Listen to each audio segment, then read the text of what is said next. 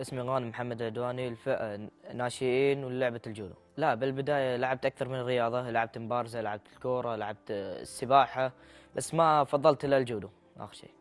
أتدرب من السبت للأربعاء أكثر شيء يحافظ عليه الكابتن آه، ال randori واللياقة أهم شيء اللياقة عشان نقدر نلعب. ال randori أول شيء تلعب فوق إذا تحاول كثر ما تقدر تطيح اللاعب على ظهره تاخذ نقطة كاملة أو نص ظهره على كتفه تاخذ نص نقطة.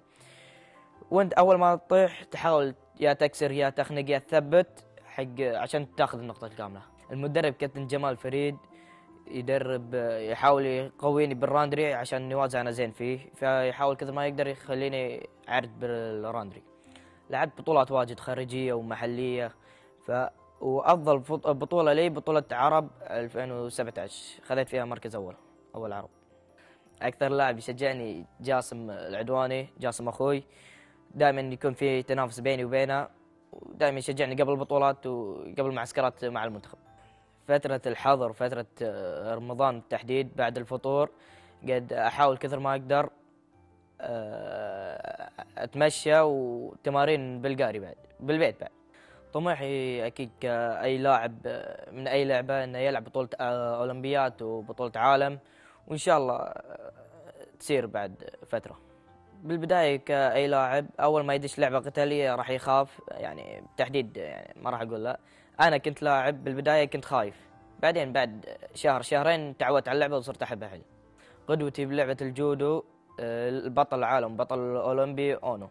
فائدة المعسكر آه، تعديل النوم تعديل اللياقة ومنها أشياء واجد يعني مثلا. شجعوني ناس واجد بس أكثر شيء الوالدة الله يحفظها شجعني أبوي شجعني أخوي الكل ما في أحد ما شجعني.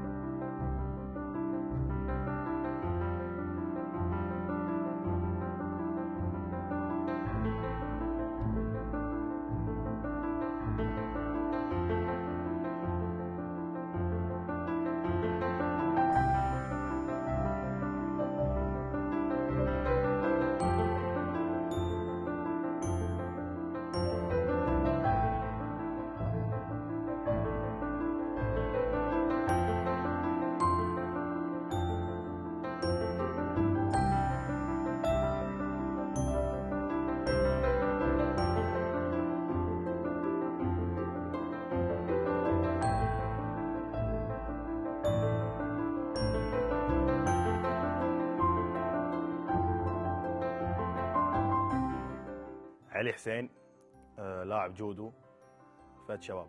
لعبت الجودو مباشرة. الوالد دخلني إياها هو خذاني وسجلني بالنادي.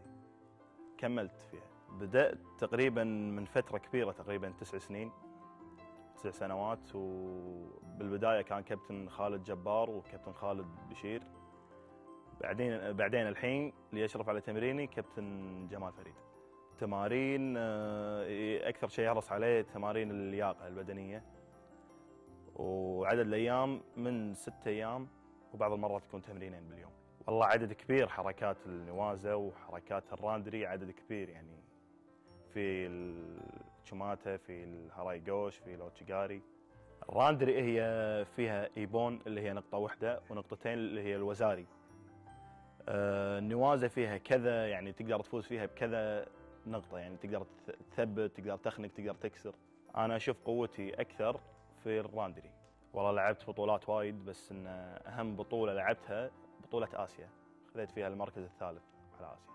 قدوتي والله برياضة الجودو اللاعب الياباني أونو. لاعب الأولمبيات بطل عالم بطل أولمبيات والله إحنا وصلنا العرب وصلنا آسيا.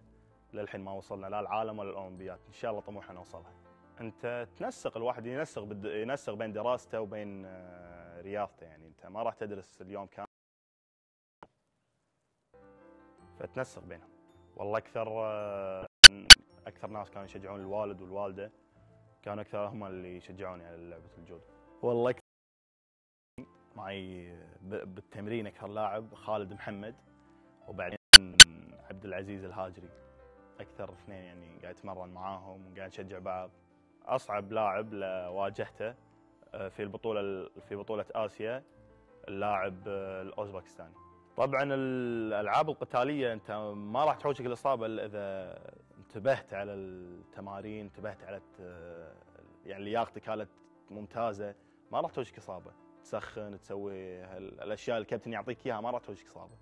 لا عاد إذا أنت ملقوف يعني رحت رحت سويت شيء غلط أكيد راح تحوشك إصابة.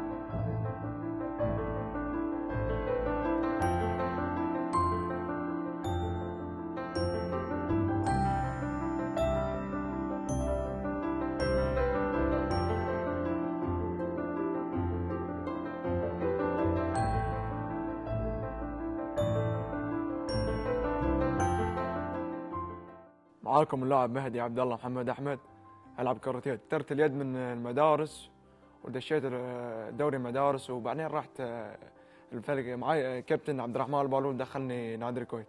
في فترة الكورونا كانت التمارين كلها بالبيت يعني الغالبية تكون بالشارع أو صوب الفرع بالجمعية. نتمشى ونركب هرولة يعني ما يعني عادي.